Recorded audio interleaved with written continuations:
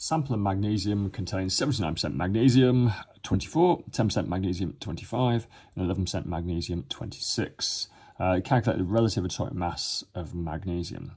So relative atomic mass is an average mass of all the atoms uh, in a sample. Now, um, we can have different uh, atoms of the same element, these are called isotopes and naturally occurring. This, nat this sample of magnesium has uh, three different uh, isotopes in it. So we need to uh, use this formula, percentage times mass, the percentage abundance of an isotope multiplied by the mass number of that isotope, so percentage times mass, uh, plus uh, the percentage of the next isotope, uh, the percentage abundance of the next isotope multiplied by the mass number of that isotope. And uh, we need to do as many of these brackets as we have isotopes. So we've got three isotopes here, magnesium 24, magnesium 25, magnesium 26. So we're going to need three brackets all added together, percentage times mass. And we're going to divide all that by 100. So let's put some numbers in. 79% uh, times uh, magnesium 24, 79 times 24, stick that in brackets, uh, plus, uh, 10 times magnesium 25, 10 times 25, well 10 times 25 is 250, so I'm just going to write 250.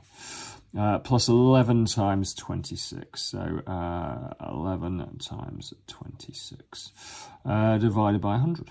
Let's work out the brackets. 79 times 24, let's do that first.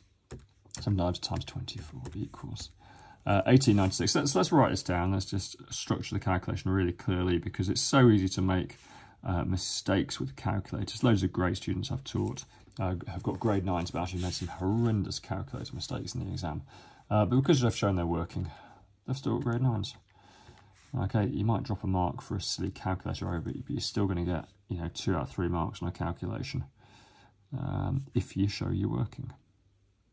Okay, so we've uh, now got those three together. Uh, we're going to add them together and divide by 100. Now, the, the answer is going to have to be pretty close to 24 because most of this sample is 24, so that's another bit of, that's another check we've got our, our working correct. So 1896 uh, plus 250 plus, uh, 286 equals uh, divided by 100.